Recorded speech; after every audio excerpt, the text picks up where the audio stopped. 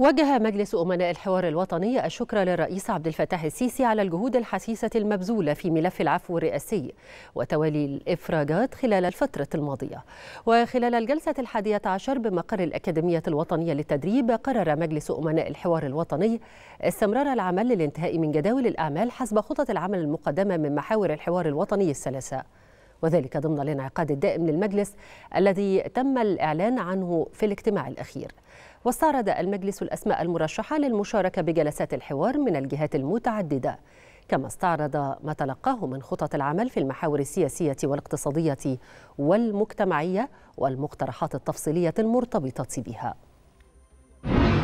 موضوع جلسة اليوم كان هو مناقشة أو استعراض الترشيحات اللي وردت من مصادر مختلفة سواء من أعضاء مجلس الأمناء أو الأمانة الفنية أو المقررين والمقررين المساعدين للجان العامة أو المحاور العامة واللجان الفرعية أو من مصادر أخرى خاصة أو بما فيها المبادرات المباشرة اللي جت من شخصيات عامة أو غيرها.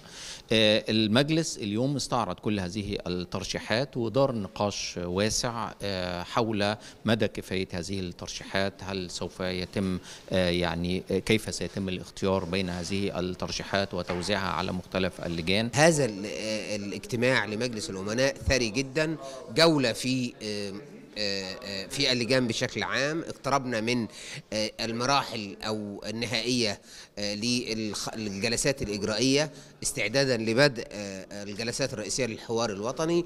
النهارده استعرضنا العديد من السير الذاتية والأسماء لاختيار المتحدثين. طبعا الترشيحات المتحدثين جاءت من مختلف سواء مجلس الأمناء أو المقررين العموم أو المقررين المساعدين. أيضا تم اختيار يعني أو وضع بعض المعايير لعقد جلسة موسعة أكثر توسعا لاختيار الأسماء ومن خلال هذه الترشيحات المختلفة.